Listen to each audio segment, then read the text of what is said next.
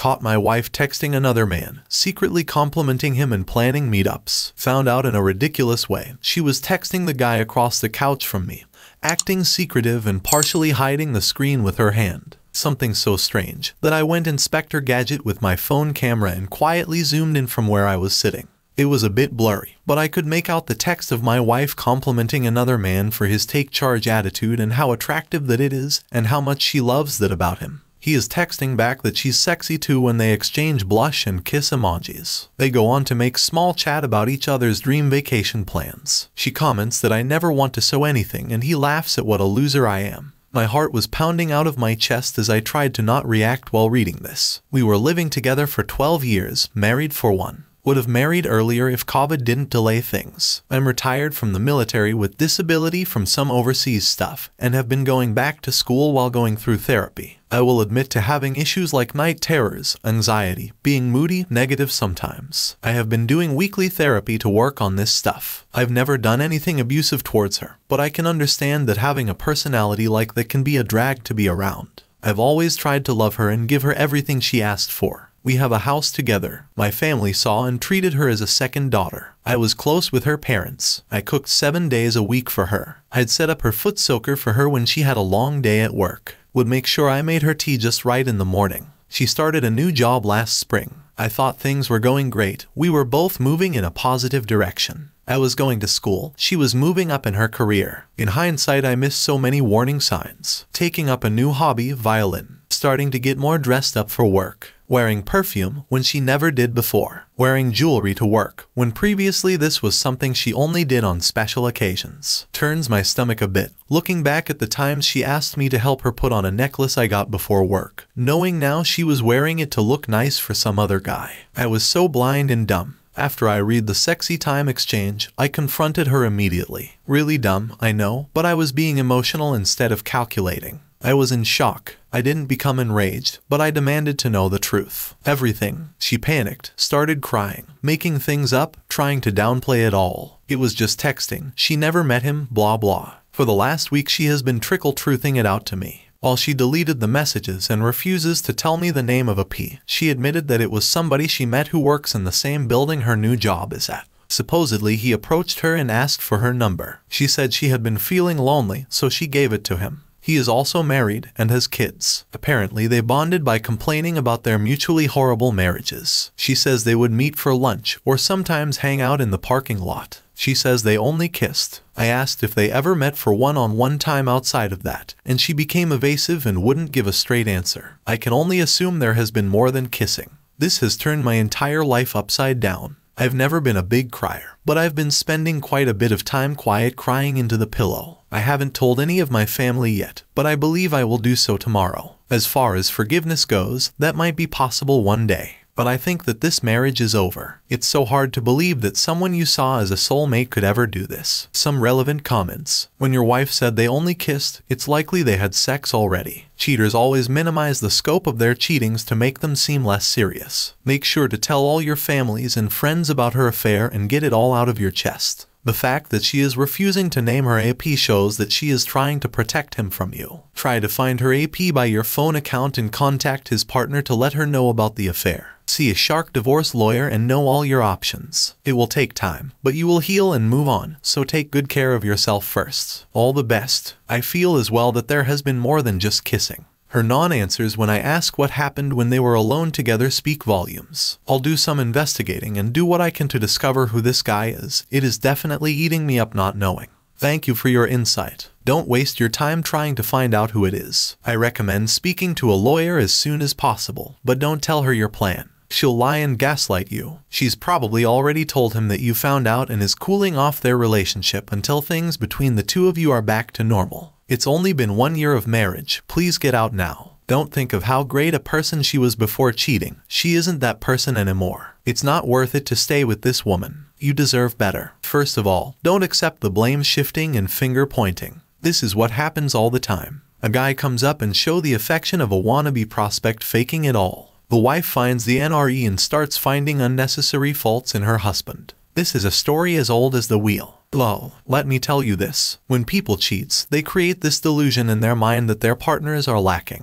This is to justify the cheating part. Happens all the time. Now in most of these posts I see one thing common. The husband rug sweeping because they are gaslighted so badly that they believe it to be true. Why else would she cheat? Maybe I came short. And then they convince themselves that if they do the pick-me dance, unknowingly, she will come back. Biggest mistake ever. This is helpful to hear, thank you. She has been giving me those kind of reasons, like I haven't been present enough as a partner. And I didn't give her the physical attention she desired. She said he was making her feel attractive and wanted again.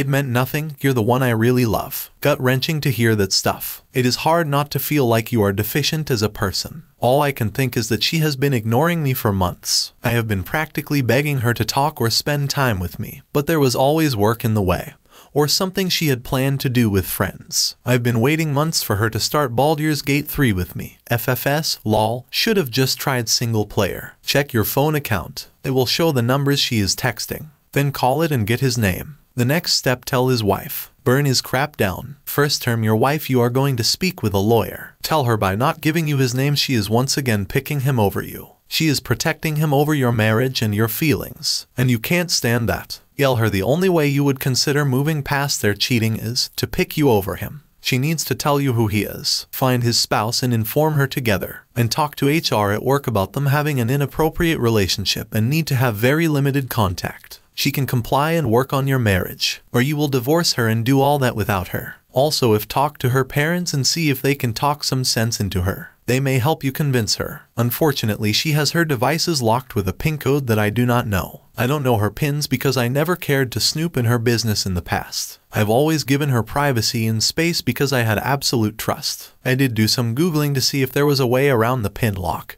but it seems like you have to wipe the phone with these more recent devices, encryption. I told her that it is not negotiable, and that I need to know his name. I asked her how she could even think I would be okay with her going back to work there, when I would constantly be wondering if this or that co-worker was AP. She started crying and told me she is afraid I will use this info to hurt her. I promised that I just want to know for my own soul that she owes me that much respect, but she refuses to relent so far. As far as AP goes, I can't promise that I don't have a desire to hurt him. My knees and back aren't what they used to be, but I think I would be pretty motivated, especially in light of how he talked about me and knew we were married. Physical revenge would probably feel the most cathartic, but I would also settle for contacting his wife, place of work. I talked to her parents again this morning, but all they keep saying how sweet she really is deep down and that they don't understand this. I don't know if they know, but they didn't give me much info either. Understandable that they would be on the side of their daughter. When I get home later I'll do some snooping around. Update, when I came home from scheduled maintenance at the car dealer at around 11 a.m., she was already in the shower. She had taken her phone into the bathroom with her, but had left the iPad I had given her unlocked on the bed in the guest room. I picked it up and saw a bunch of text messages between her and her friends. She was telling them she was living in the guest room now and how jealous that was making me. What the F? I asked her to sleep there. They were sending her back stuff like, F that guy, live your life, you go find yourself, that kind of thing. I didn't see any messages from AP. The shower turned off so I had to stop looking. She came out and saw I had used the iPad and accused me of spying more. I told her I just need to know the truth. I said, just look me in the eye and tell me you didn't sleep with him. She refused to and looked away. I said, I already know you did, just respect me enough to tell me the truth. Instead, she went on a rant about how I'm trying to ruin her life, make everyone hate her, get her fired. I said, just tell me the name of AP.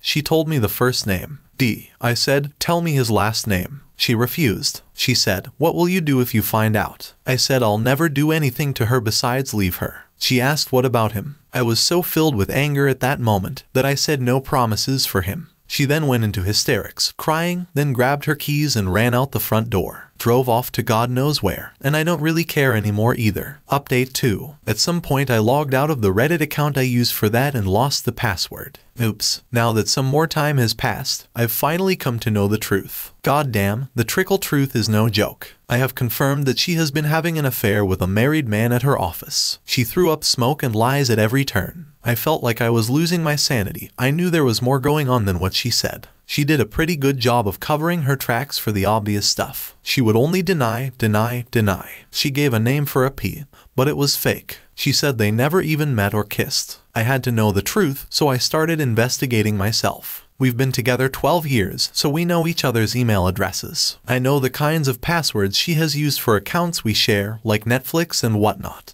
First, I tried guessing the password to her Outlook account, but no dice. Then I tried Facebook. The password was correct, but she had changed it within the last 30 days, so I was denied. Finally, I tried the Google account. Bingo. People, if you use a Google account and worry about privacy, make sure that thing is locked the F down. It's incredible how much information is held there. The emails were obvious to check, but there wasn't too much there at first glance. They probably used other means to communicate. Cheating apps, who knows? But there was a ton when I checked activity.google.com. There was a history there covered all of the things she had been Googling over the last several months. Search questions, map destinations, travel sites, linked websites that share the Google account, like ChatGPT.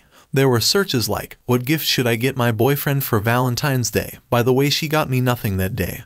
Or red blood after rough sex. We haven't been intimate together in a while, so ugh. There were hotel bookings, one in Feb, one at the beginning of March, and a third hotel booked for this Friday. I checked the email and sure enough there were receipts for the bookings. Lingerie purchases. I checked ChatGPT randomly, and there were numerous chats she was having with it about whether her new boyfriend really in love, about her being jealous of this man's wife. This man has a teenager, so she was talking to ChatGPT about teenage personalities and being a parent asked if it was ethical to be in an affair. Okay then, treat ChatGPT like your oracle. Then I checked the iPad. She had taken most of her electronics and stuff to her parents where she had been staying for a couple days, but she left behind the iPad I had given her for Christmas. I knew the pin because we left it on the coffee table and both used it. She had linked her Apple account to that iPad at some point, and the cloud photos had synced between the iPad and iPhone. I never cared or noticed before. I just used that iPad for a quick Google or to watch some videos. When I checked the photo history, it was current up to the 22nd of March 2024, which was a few days before D-Day. Those photos finally confirmed all of my worst nightmares beyond any doubt. For some reason, she had screen capped multiple conversations with that guy that they had over the months. I'm still not sure why, but it was all there, talking about all of the intimate things they have done or want to do to each other, tramping about their respective partners, the dates they had been going on. The dates they went on were brutal to see. There were things I had suggested to her that we do together that I saw pictures of her doing with him instead. Stupid stuff like axe throwing, but it felt like another knife to the heart. I could see them setting up a sleepover date as early as January, when she told me she had only just met him then. Now that I had a pretty good timeline and record of what was going on, when she came by the house I asked her again to tell me the truth about what happened. More lies. I started trickling out when I knew, and she eventually broke down and said they only slept together one time. She said she felt horrible after they had sex. I said I literally saw messages from her to him, saying how good the lovemaking was. I said you had another damn sex sleepover planned for this Friday at the Hampton Inn. She got hysterical, it was all my fault. I never gave her the attention she craved. She has needs that I never met. I was a bad husband. I'm boring and never do anything. She had never cheated before. This isn't like her. Lots of crying, screaming, and hysterics. She said she still wanted to make things work with us. I told her to tell me who this man is, but she would only give a first name. She said they met when she started at her new job. He's a more senior employee that does project management things, which is what she wants to do, so I guess he impressed her with that. He is a married man with teenage kids. She said they were both hurt people in bad marriages that were helping each other get by. They would hang out at work, go for lunches together, and apparently on dates on the weekend. She refuses to give me the identity of this person. I told her she needs to tell his wife, and she refused. She says she doesn't want to cause more damage, but we both know it's fear. It is honestly driving me a bit mad not knowing who did this. She asked if we could still stay together, and if she could keep working there along with him. I asked her if she was insane more hysterics, and then she took off back to her parents. This has been some of the worst pain I have ever been through in my life. Since finding out, I have been losing weight from not eating, barely sleeping, dealing with constant stomach pain. It was torture to read the things they said to each other, but it was good to see it at the same time. Without reading that, it's possible that my resolve might have softened and I might take her back. Even throughout all of this, my heart still aches with the love I have for her, or at least the person I thought she was. I was always 100% committed during our relationship and never had eyes for anyone else. Thanks to everyone for the helpful advice I had read on this sub. Big update. Was going to make a new post, but I guess I would be spamming the sub. Here it is. Thanks for the great suggestions yesterday. I hadn't even considered checking the iPad passwords, derp, and there were all sorts there. Turns out, however, that it wasn't needed in the end. As I was reading comments and checking potential people online, starting to narrow it down to a handful of individuals, my wife suddenly walked into the house. She had been messaging me pretty much non-stop about how upset she has been, how hard this is, doesn't want to let me go, and that she is completely finished with this guy. She came in and sat down, we talked. I reiterated the facts, and said I don't hate her but his wife needs to be informed. I said I will make it my life mission to let her know. She got upset again, said she doesn't want to hurt anyone, then went upstairs to the bedroom and started getting showered and spiffed up. In the earlier posts when I said she had a hotel booked for this Friday, I actually had the dates mixed up. The check-in time was Thursday, and check-out was Friday. Also, as far as I knew, it hadn't been cancelled either, so now I was wondering if it was actually still on for tonight. I was waiting downstairs while she showered and cleaned herself up. She took a while to do her hair. When she came down, I asked where she was going, and she set out to see a friend.